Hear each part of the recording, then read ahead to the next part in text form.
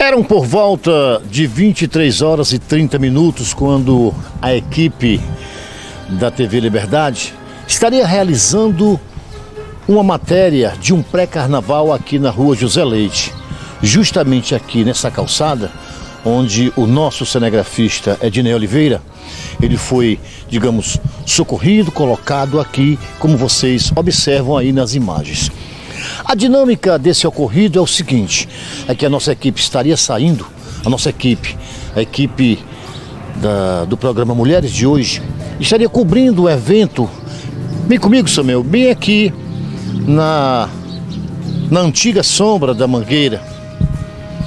E com certeza um pré-carnaval animado, tranquilo, até então, porque Lá por voltas, como eu já bem falei, de 23 e 30 aproximadamente, nossa equipe ia se deslocando para o, para o nosso veículo, quando foi surpreendida por esse elemento que estaria no veículo de cor branca, de carroceria.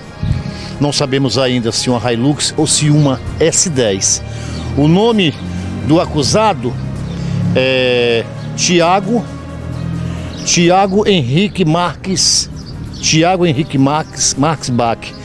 Segundo informações, ele estaria hospedado lá no Espaço Verde, no bairro Banguê.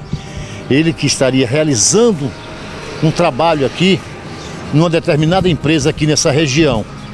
Mas, literalmente embriagado, ele atropelou o nosso, cinegraf... nosso cinegrafista Dinei Oliveira e se evadiu para a infelicidade e para a nossa sorte, a Guarda Municipal, a viatura da Guarda Municipal, estaria passando naquele momento. E aí começou uma longa perseguição, onde a altura do conjunto da Coab, aqui justamente, Samuel, mostra aqui nessa rua, ele atropelou e se evadiu, saiu tomando rumo ignorado. E a equipe da guarda o abordou à altura do Coab, da Coab e fez a prisão. Realizou a prisão e o mesmo foi conduzido até a delegacia plantonista do município de Horizonte, onde foi feito os, os devidos procedimentos. Inclusive até nós temos algumas imagens do Ednei sendo socorrido pelo SAMU. Momento de muita expectativa, de muita dor. A nossa equipe da TV Liberdade através do nosso diretor Alex Montenegro, dando a atenção necessária, mas quando se refere à saúde do nosso país, é sempre muito difícil. Nesse momento, o Ednei ainda se encontra no Instituto Dr. José Frota, ele teve fratura exposta, exposta na tíbia, também atingido, foi atingido no joelho. Tudo isso foram fatores que nessa noite de domingo, a nossa equipe de reportagens, programa Mulheres de Hoje, se deparou com essa situação. Há um fato lamentável, um fato que nós repudiamos, mesmo porque né, pessoas que estão trabalhando, cobrindo um evento ali na esquina gourmet, inclusive até, vem comigo Samuel, ainda vocês podem observar que a questão do, do ambiente está padronizado, um ambiente, uma festa bem bacana, uma festa onde que na verdade quem estava aqui estaria se divertindo. Mas esse esse elemento que vocês observam também aí na, nas imagens, ele foi autuado, ele foi deixado na delegacia plantonista do município de Horizonte para a realização dos procedimentos. Nós iremos até a delegacia ou até mesmo a guarda municipal, porque a equipe da guarda que fez essa prisão fez um trabalho espetacular, tirando de circulação esse elemento que estaria completamente embriagado. E agora ele, ele está a, a cargo da justiça, a justiça que irá tomar as devidas providências. Enquanto isso, o nosso cinegrafista Ednei Oliveira encontra-se lá no Instituto Dr. José Frota, em Fortaleza, esperando uma cirurgia. Vamos lá, vem com a gente. Nós saímos do local do ocorrido, do atropelamento do nosso cinegrafista Dinei.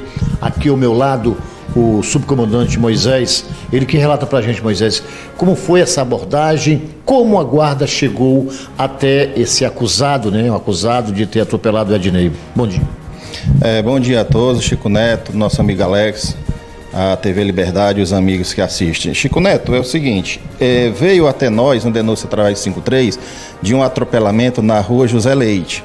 É, foi comunicado para a viatura, a viatura de imediato foi em diligência ao local, onde o rapaz supracitado Ednei foi atropelado, quebrou uma perna, foi socorrido para o IJF e a viatura começou a fazer diligências nas ruas para ver se localizava o veículo, uma S10.